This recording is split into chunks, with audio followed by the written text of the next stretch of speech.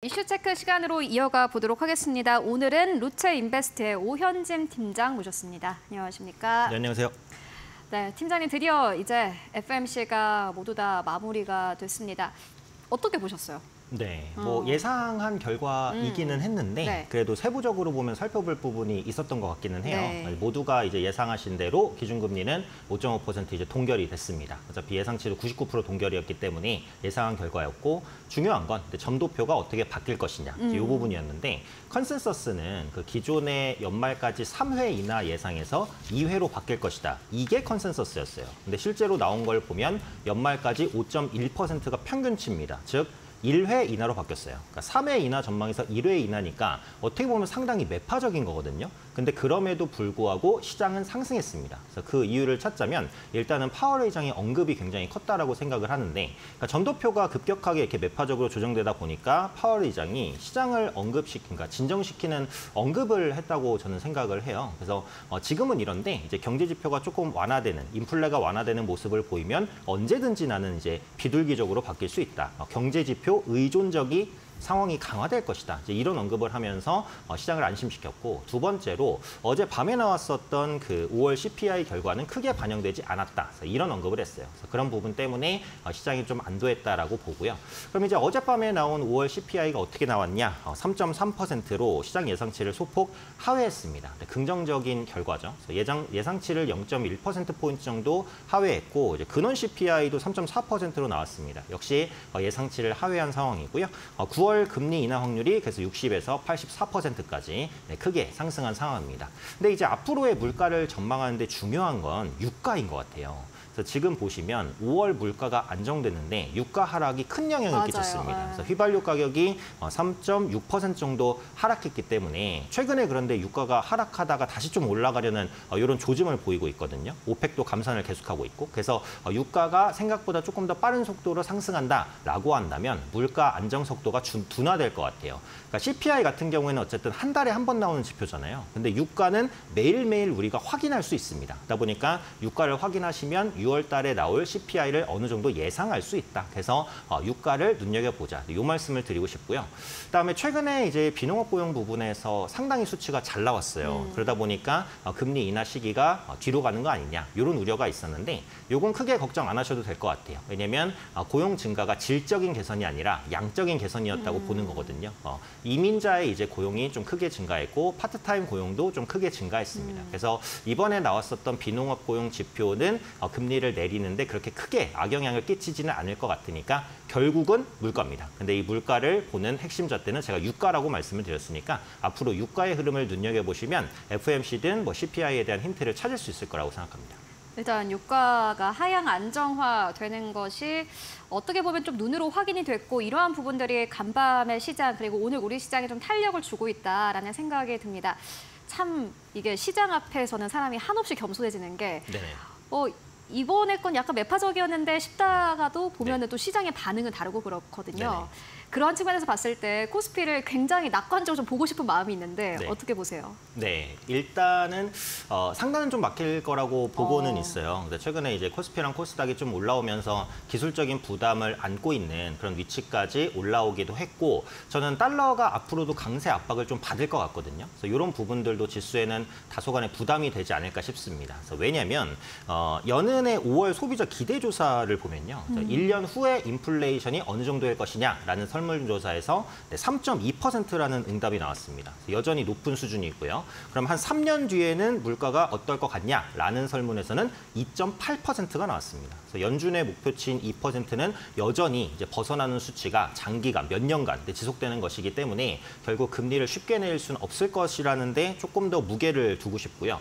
어, 추가적으로는 미국을 제외한 다른 나라들이 금리 인하를 시작했다라는 겁니다. 그럼 상대적으로 달러는 강세로 갈 가능성이 높다라는 건데 그 ECB가 지난주에 5년 만에 기준금리를 내렸어요. 그래서 4.25%로 내렸는데 지금 유로존의 물가는 2% 중반대이기 때문에 충분히 인하를 결정할 수 있는 어, 위치입니다. 있습니다. 물론 아, 유럽이 이제 금리를 인하하면서 우리 앞으로 계속 인하할 거야 이렇게 말하진 않았어요. 일단 인하고 앞으로 지표를 보겠다라고 했지만 어쨌든 인하를 시작했다라는 것에 의미가 있습니다. 그리고 최근에 이제 유럽의 선거를 보면 극우 정당이 약진을 하고 있잖아요. 이렇게 되면 대외 정책 불확실성이 커지는데 이게 또 유로화를 약세로 만드는 어, 요인입니다. 유로화 약세는 반대로 달러와 강세가 될 수 있는 거니까 어, 미국이 뭐 금리를 뭐 9월 달에 한 차례 내리던가 이런 조치를 취한다고 하더라도 당분간은 달러가 강할 수 있다. 이 부분을 말씀드리고 싶고요.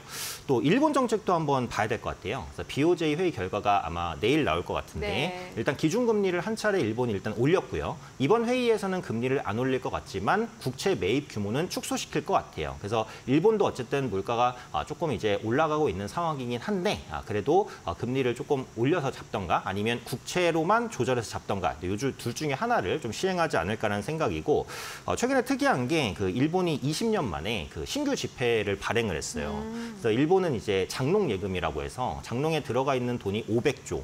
엄청납니다. 왜냐면 일본은 예금을 잘 안 해요. 그죠. 네, 금리가 얼마 안 되니까. 아. 그래서 어, 연세 있으신 분들은 다 장롱에다 돈을 쌓아놓거든요. 근데 이번에 새 지폐가 발행되면서 기존의 장롱에 있던 돈을 꺼내서 쓸 수 있어요. 이것은 이제 인플레를 자극시키는 요인이 될 수 있거든요. 이러면 이제 일본이 금리를 인상할 유인이 발생하는 거죠. 아무래도 일본과 한국은 수출에서 경합하고 있으니까 엔화 가치가 올라가면 국내 수출 업체에는 긍정적인 영향을 끼칠 것 같아요. 그래서 BOJ 결과도 보셔야 된다. 뭐 결론적으로 종합하면 어쨌든 달러는 좀 강 세로 갈 것 같다. 근데 그 달러의 움직임과 코스피의 움직임을 보면 역사적으로 반대입니다. 달러가 올라가면 코스피 내려가고 달러가 내려가면 코스피가 올라가요. 최근까지도 그렇거든요. 그래서 달러가 조금 더 올라간다라고 한다면 코스피에는 어쨌든 하방 압력이 있을 것 같아요. 그래서 저는 지수에 대해서는 그렇게 큰 기대를 안 한다. 다만 어, 환율 상승이 하루 이틀 얘기는 아니니까 그런 부분들이 지수에 반영된 것도 있어서 어, 달러가 더 강세로 간다고 해서 뭐 코스피를 찍어 누른다 이런 개념까지는 아니고요. 상단을 좀 제한한다. 이 정도로 보고 있습니다. 어, 저희 오늘 파이널샷 진행하면서 벌써 두 분의 전문가가 이렇게 일단 코스피는 박스권 안에서 머물 것이다라는 전망들을 계속해서 내놓고 있습니다. 아무래도 달러가 강세 흐름을 보이면은 그만큼 우리 시장에 들어오는 자금은 제한적일 테니 이러한 전망들이 계속해서 나오는 것 같고요. 그렇다면 수급 쪽을 좀 봐야 될 텐데 달러가 강세면은 사실 수급도 좀 문제거든요. 그렇죠. 네, 수급적인 측면에서 봤을 때는 어떻게 보고 계신가요? 그래서 이제 외국인이 국내 시장을 적극적으로 산다까지는 요즘엔 아닌데. 선별적으로 사는 종목들은 있죠. 어, 전형적으로 한 가지 수출 주입니다. 수출주를 왜 사냐? 실적이 좋기 때문이죠. 다시 말하면 외국인은 철저하게 실적을 보고 매수하고 있다. 이 부분입니다. 어, 환율 상승은 수출주에 긍정적이죠. 그래서 5월부터 최근까지 외국인 순매수 상위 종목, SK하이닉스, 뭐 현대차, 한미반도체, 뭐 다른 종목을 봐도 일단 수출주에 거의 집중이 되어 있는 모습을 볼 수 있고요. 5월 국내 수출이 이제 전년비 11% 증가했습니다. 8개월 연속 플러스 흐름이고 앞으로도 수출이 좋을 것으로 예상되기 때문에 수출주의 실적 기대감 높아지고 이것은 곧 외국인의 수출주 매수로 연결됩니다. 당연히 수출주가 더 갈 수 있는 아, 판이 좀 마련되고 있다라고 볼 수 있을 것 같고 어, 그럼 뭘 봐야 되냐? 이제 외국인이 얼마를 샀다 이건 크게 중요하지 않고요. 어, 사는 기조에 있냐 이게 중요합니다. 그죠. 수급은 얼마보다는 꾸준히 사고 있냐 요걸 보셔야 되는데 외국인은 그 매수나 매도의 연속성이 강해요. 무슨 말이냐? 한 번 사면 계속 사고 한 번 팔면 계속 팝니다. 그래서 외국인이 추세적으로 사는 종목을 매수를 하자 이 관점인데 뭐 하이닉스 같은 경우도 보면 작년 5월부터 최근까지 1년 넘게 사고 있고요. 보통 대형주에 대한 매수나 매도 포지션을 잡으면 그 포지션이 변하지 않고 6개월에서 1년 정도 갑니다. 그러니까 외국인의 수급에 역행하는 전략은 굉장히 위험할 수 있다라는 말씀을 드리고요. 다만 이것도 조건이 있어요. 외국인이 사는 추세라고 무조건 사면 안 되고 그 사는 추세랑 주가의 방향이 일치해야 됩니다. 그러니까 외국인이 사면서 주가가 올라가야 돼요. 그러니까 예를 들면 삼성생명 같은 경우는 외국인이 많이 사는데 주가가 안 올라가요. 이 말은 외국인이 사고는 있지만 그렇게 시장가로 적극적으로 사는 건 아니라고 보여지는 거거든요. 그래서 외국인이 사면서 주가도 같이 올라가는 그것도 왜 사는 거예요?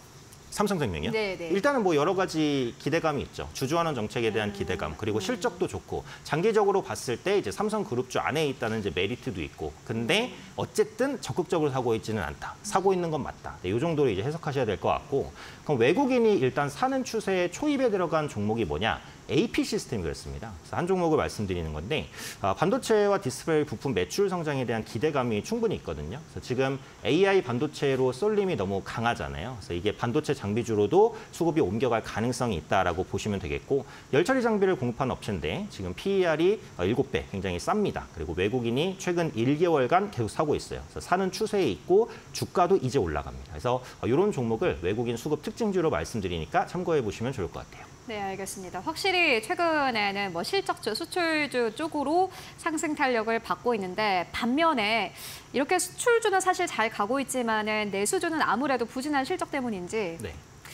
별로입니다. 어떻게 보십니까? 네, 그래서 어쩔 수 없이 내수주는 네네. 앞으로도 조금 부진할 가능성이 어. 높다 이렇게 보셔야 될 것 같은데 이게 상대평가예요. 그러니까 지금 시중 자금이 그렇게 많지가 않습니다. 그러니까 주식 예탁금도 더 늘어나는 추세에 있냐면 아니고요. 아, 국내 4대 은행에 보시면 예금 잔액은 계속 늘어나요. 그러면 주식시장에 남아있는 자금은 그렇게 많지는 않다는 거예요. 그래서 내수주랑 수출주를 다 살 수는 없어요. 골라서 사는데 수출주가 상대적으로 매력이 높으니까 내수주의 수급이 상대적으로 약하죠. 네, 이런 현상들이 앞으로도 이어질 것이라는 거고 어, 5월 소비자 심리 지수를 보면 은 2.3% 포인트 하락했습니다. 그래서 5개월 만에 기준치 100을 하회하는 거니까 국내 소비 심리도 좋지 않다라고 보시면 되겠죠. 뭐 고물가, 뭐 고금리 이런 부분이 영향을 끼친다라는 부분이고 농산물이라든지 뭐 외식 서비스에 대한 체감 물가가 여전히 높아요. 그래서 이런 부분들은 어, 내수주의 투자 심리를 악화시킬 수밖에 없다라는 거죠. 뭐 내수주 예를 들면 통신주, 유통주 이런 것들 들 수 있는데 통신주는 이익은 그래도 양호한 편이긴 한데 최근에 5G 가입자가 추가적으로 늘어나는 환경은 아니고 또 5G 요금 중에 이제 저가 요금제가 많이 나와요. 그래서 이런 부분들이 통신주의 이익을 조금 악화시키고 있고 유통주는 확실히 좀 안 좋죠. 그래서 네. 국내 뭐 소비 심리 아까 말씀드렸고 뭐 중국 이커머스 업체가 또 들어오다 보니까 이런 부분도 압박입니다. 그래서 당분간은 조금 부진할 것 같다라는 부분.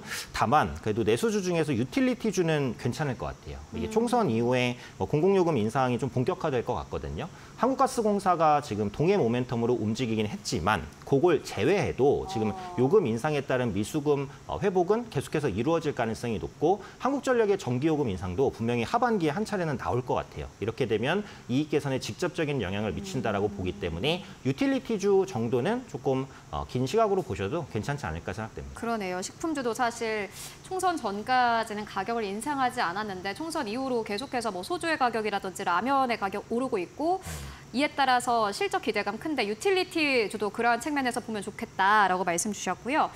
어, 그런 측면에서 봤을 때 항공주 같은 경우에는 앞서서 말씀해 주셨지만 유가 하락에도 불구하고 사실 크게 탄력은 받지 못하고 있는데 어떻게 보십니까? 이제 탄력을 받는 것 같습니다. 어. 네, 그래서 이제 좀 관심을 가지면 좋지 않을까라는 생각인데 항공주도 내수주로 분류되기는 해요. 근데 좀 특수성이 있잖아요. 뭐 여행기기라든지 항공 화물 이런 부분에 어, 수요가 많기 때문에 어, 내수주로 분류됨에도 불구하고 성장할 수 있다라고 보여집니다. 일단 외국인과 기관이 대한항공과 아시아나항공을 양매수하고 있어요. 수급적으로는 가장 좋다라고 볼 수 있고요. 항공화물이 이제 해상 운임 상승에 따른 반사 효과를 받고 있습니다. 그래서 홍해 사태 이후에 컨테이너 운임 지수가 계속 올라요. 그러니까 결국은 이게 무역을 하려면 배로 하던가 비행기로 하던가 둘 중에 하나예요. 어차피 다른 게 없습니다. 근데 지금 배로 움직이는 게 비싸졌잖아요. 그러니까 상대적으로 항공으로 운반하는 게 늘어날 수밖에 는 없죠. 그래서 항공주에는 긍정적인 요인이 된다라고 보시면 될 것 같고 어, 2분기 배럴당 107달러에 육박했던 항공유 가격이 최근 90달러까지 안정이 된 부분도 일단은 좀 긍정적일 수 있다라고 봅니다. 물론 앞으로의 유가는 좀 더 확인을 해야겠지만요. 어, 그리고 이제 성수기로 진입하는 게 크죠. 네, 여름입니다. 여름은 이제 휴가를 가기 그죠. 때문에 네, 휴가에 대한 수요가 당연히 있을 수밖에는 없죠. 어, 7, 8월 해외 여행객이 호조를 보일 것 같고요.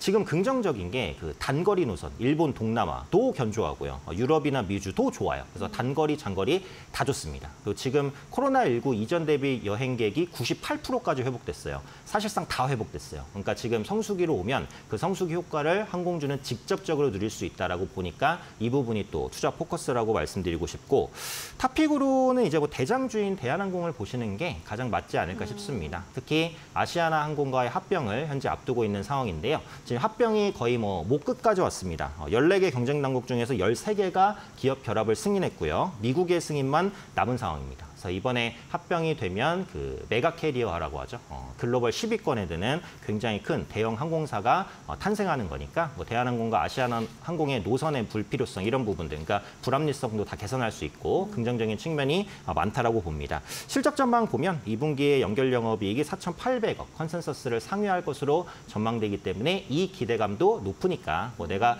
매수할 만한 섹터가 잘 안 보이는데라고 하시는 분들은 항공주를 보셔도 괜찮을 것 같습니다. 네, 알겠습니다. FMC부터 탑픽주까지 듣고 왔습니다. 지금까지 오현진 팀장과 함께했습니다. 고맙습니다. 감사합니다.